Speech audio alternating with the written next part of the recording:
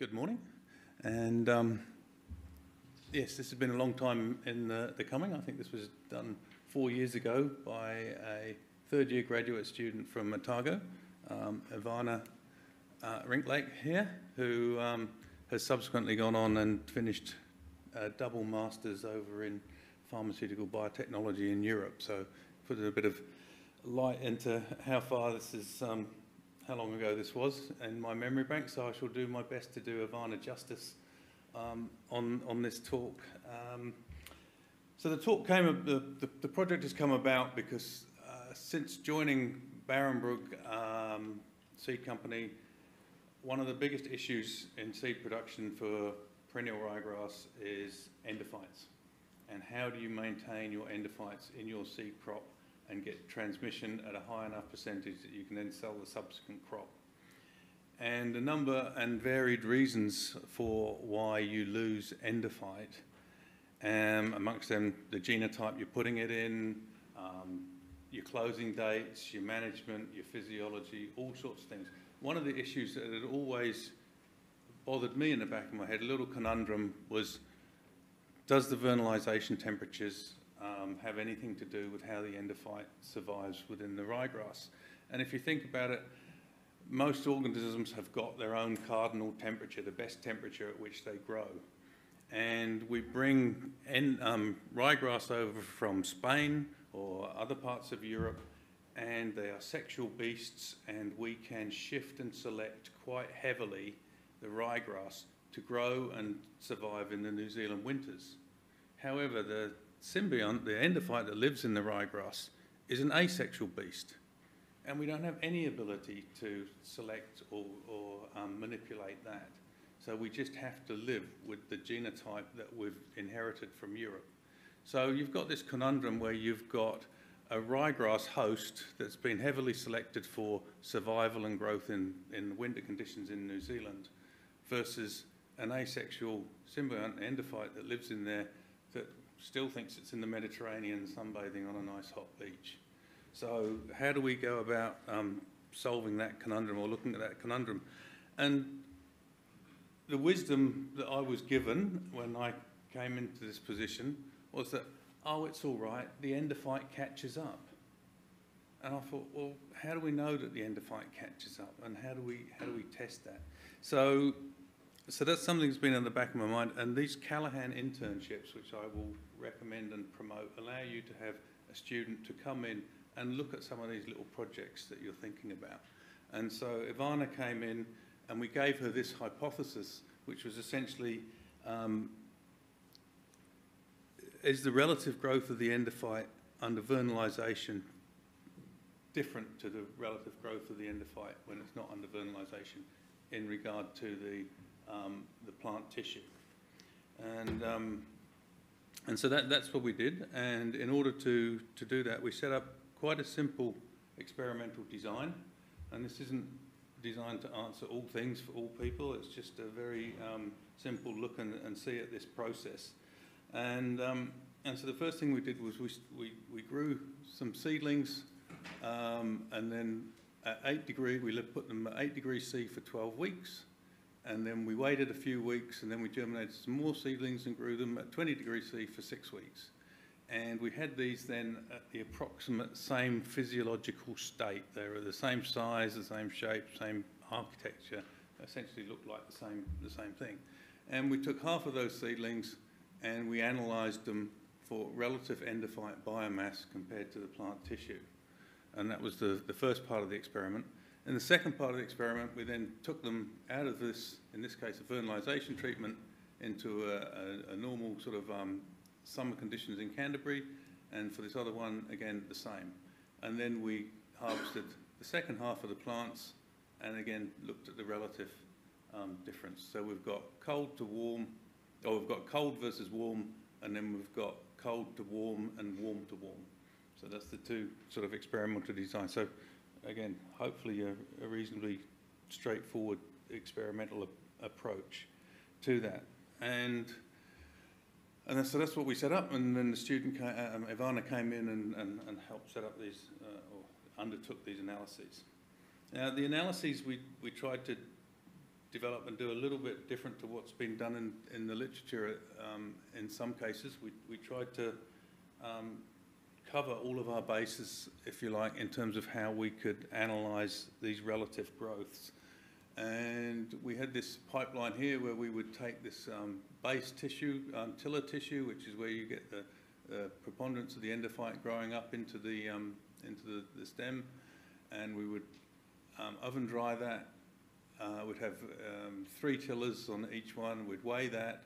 We'd bead bash it, and then we would either take a sample off for um, DNA extraction, and then another sample off for protein um, extraction.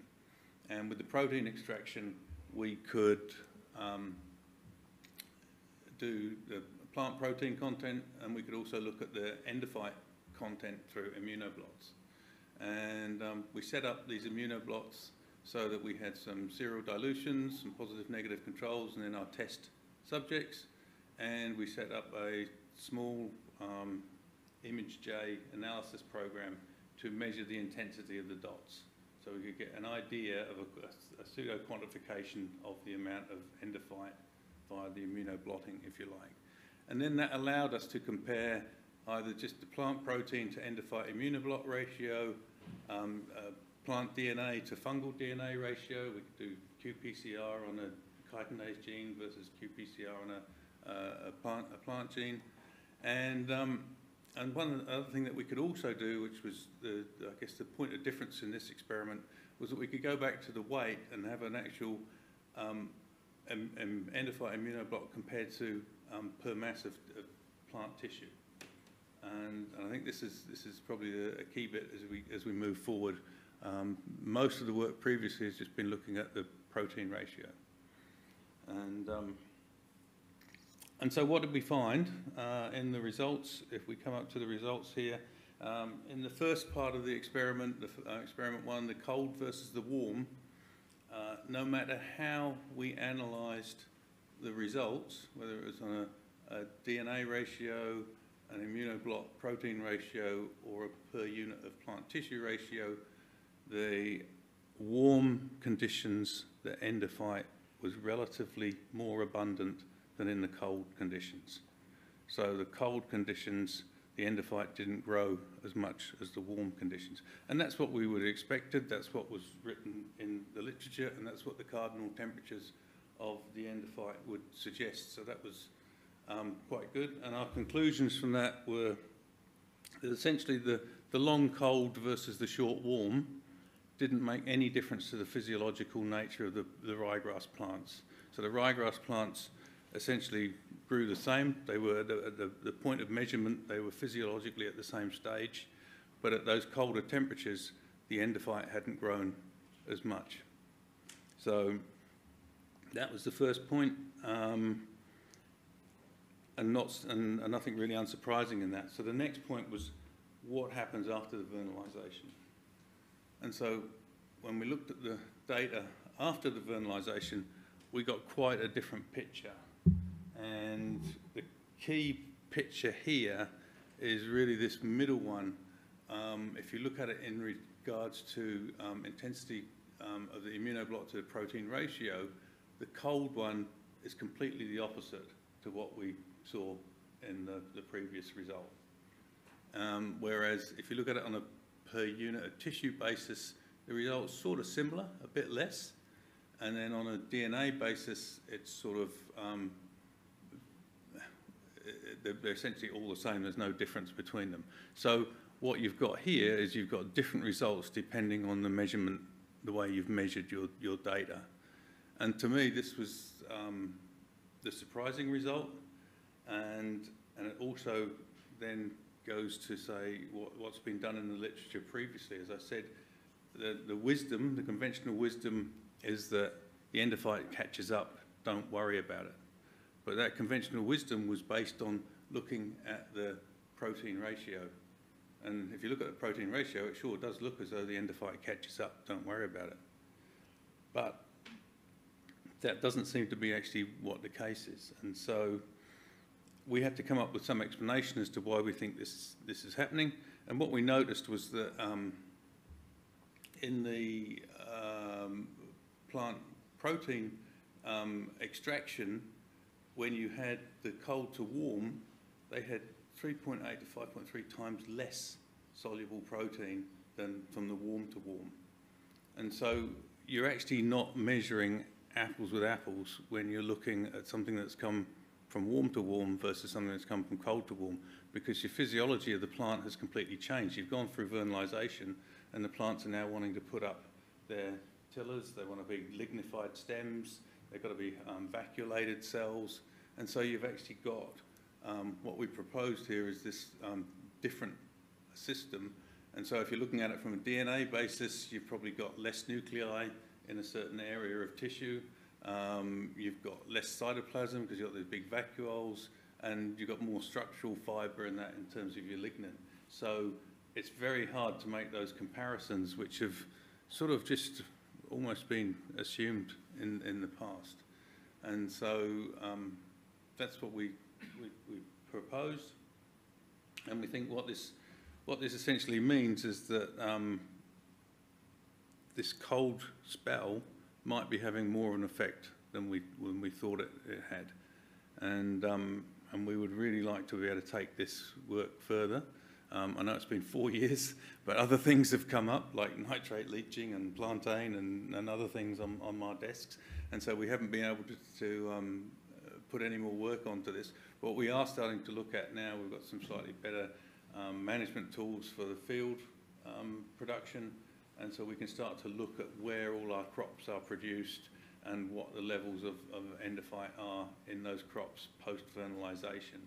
Um, at the, uh, it's, that's a very difficult thing to do because of all your variables, unless you've got the same seed batch and the same genotype, the same endophyte, and you've got a good understanding of your management practices and that, they can all have effects as well, but this may be one that's, that's causing um, an effect to that end. And so with that, I'd just like to um, thank Ivana again, although she's not here. It's amazing what you can do in 12 weeks. And, um, and yeah, if there's any questions, appreciate it.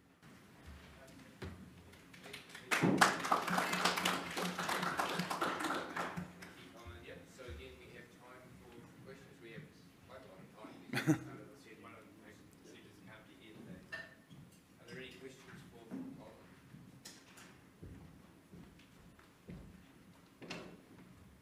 So, um, in terms of taking the work forward, um, you, you know, obviously, uh, COVID is disruptive and, and there's been a few other, you've obviously got other Yeah. research priorities, but do you have a strategy? You mentioned the Callaghan Innovation, was it? Yeah, well, um, uses Callaghan Innovation quite a lot for graduate interns over the summer, and it allows you to start looking at some of those small projects that you've got in the back of your mind, but you don't actually have the time to, to do them. They have they provide a student for 12 weeks, and um, you, there's some very good students out there, and um, it allows you to have a look at these projects and see, and occasionally like this, you know, something of publishable quality comes comes out. But in terms of where we're taking this forward, I think we might set up some more experiments to look in the glasshouse and controlled environment conditions and actually put them through different vernalisation treatments. But it would be actually, I think, better to go to the field and just have a better recording and data management of all the um, production variables and then try and be able to data mine that for differences to see if it happens. But particularly for you know, endophytes like AR37 and NEA12 and that, that, you know, that have got this production issue in terms of transmission and, and, and success into the next generation. Um, it's a very important part of the business. So.